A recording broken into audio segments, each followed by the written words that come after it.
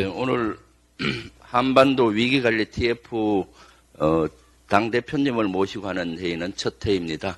어, 한반도 위기관리 TF는 두 달 전에 당 대표님과 우리 당 지부에서 한반도가 위기 국면으로 가기 때문에 우리 당 차원에서 한반도 위기관리 TF를 만들어서 어, 위기를 관리하고 어, 해야 되지 않겠냐 해서 구성이 됐습니다. 어, 구성은 국방위 국회의원 위원들과 정보위의 간사인 윤건영 의원을 비롯해서 어, 예비역 장성분들로 구성이 되어서 현재 활동을 하고 있습니다. 그리고 오늘은 당대표님 모시고 첫 회의입니다. 사실 지난번에 하려고 하다가 당대표님께서 불의의 테러를 어, 당하셔서 어려워서 했는데 오늘 하게 됐습니다. 북한이 네 실제 당대표님 이런 테러를 당한 이런 경우도 사실 우리 안보에 큰 해악이라고 저는 봅니다. 안보는 안전보장의 준말이거든요. 그래서 국민의 안전을 보장해야 된다기 때문에 북한의 위협뿐만 아니라 안전보장을 책임져야 되는 것은 국가의 책무 중에 하나입니다.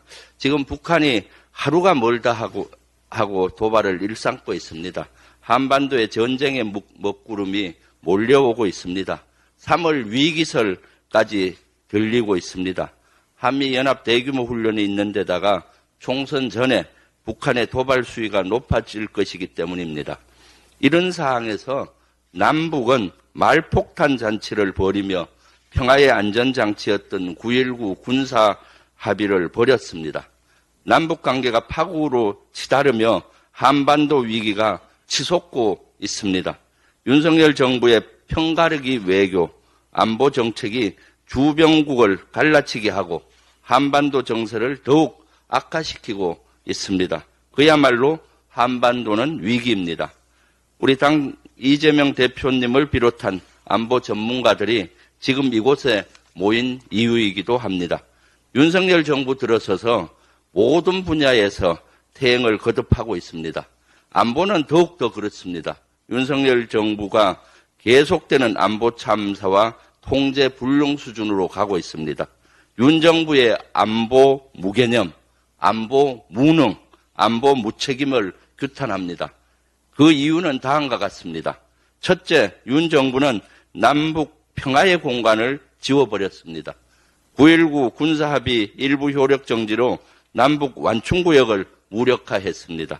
그러나 윤 정부는 이를 무장해제 혹은 안보 포기로 왜곡하고 군을 모욕했습니다. 둘째, 윤 정부가 평화 공간만을 지운 것이 아닙니다. 우리 지도에서 독도를 지웠습니다. 국방부 정신전력교재에 들어간 지도에서 독도를 삭제했고 분쟁 지역으로 명시해 국민적 분노를 샀습니다.